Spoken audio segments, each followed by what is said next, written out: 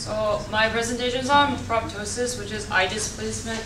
And the reason I wanted to do this project was because um, when I was working at my vet back at home, there was an old lady that came in saying that like her pug, her the eye popped out again, and um, the doctor was like, "Well, like what do you do when it normally happens?" And she said, "Yeah, I just put some butter in it and I popped it." out."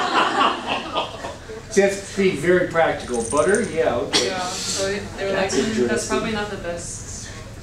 Hmm.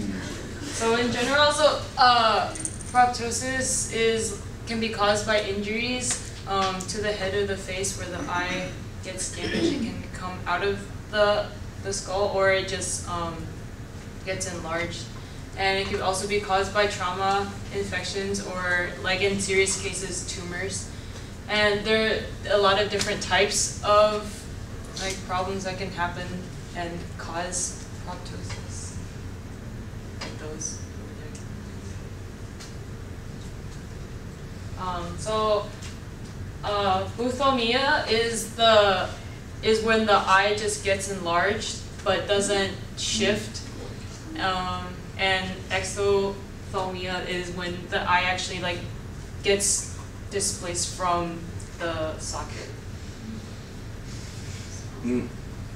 And in in the first one, it's the eye the eyelid is also still in place, but it just can't it's not able to close around the eyeball.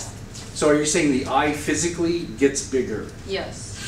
And And are you gonna tell us the causes of that maybe, or? Uh, the causes would be the ones like in the previous Oh, slide okay, where okay. um, like ulcers may cause like it to shift or, or glaucoma is, is a common cause um, to Okay. increase pressure on the eye.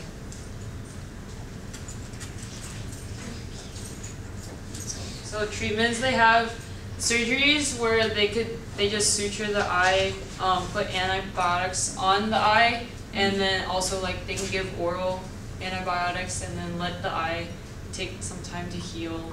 And in serious cases, if the eye comes out of the socket and it is um, you don't get it treated fast enough, you might have to remove it because there's like not a lot of good ways to put it back in and let it heal.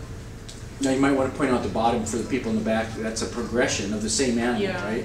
Yeah, so this is day day like zero when um they first come in to get surgery and then the suture and then day ten, day twenty two and day thirty seven. So it's nice to see that you can still fix it. Yeah, that's very, I mean, that's dramatic when you see day zero is usually like the day it was presented. So that's what it looked like on the left, and then they sutured it into the socket then. Mm-hmm. And they probably put some antibiotic or whatever in, and then look at that, day thirty-seven, yeah, it's amazing.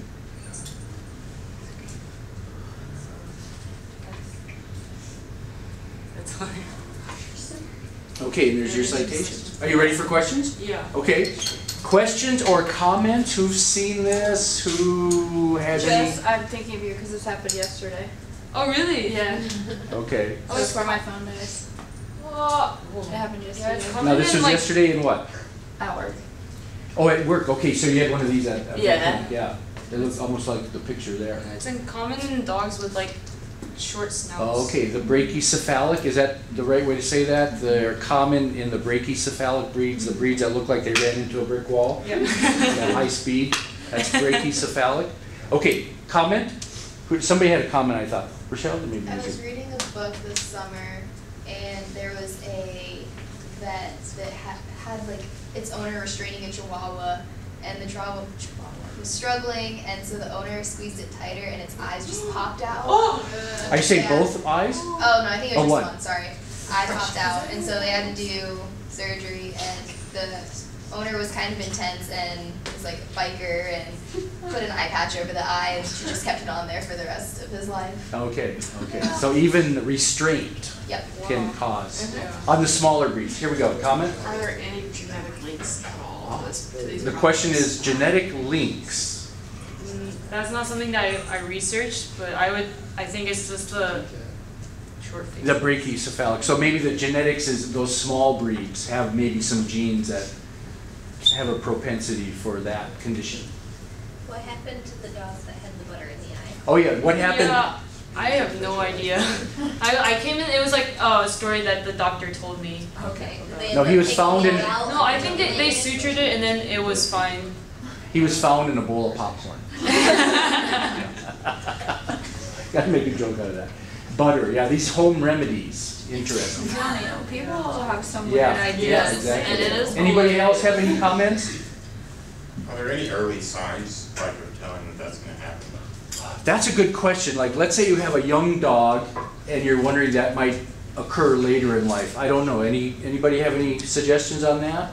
Probably with like glaucoma and stuff that progresses, you can probably see the pressure building behind the eye, and the eye will swell a lot before it just happens. Okay, so maybe if you are a good observer, you can kind of tell, because it's probably something that's uh, chronically developing rather than all of a sudden pop. It's, It, yeah, and it's common in like dogs that get like Graves' disease where their eyes will slowly Oh, swell, yeah, and Graves' then disease is It can another- actually happen to come out. okay.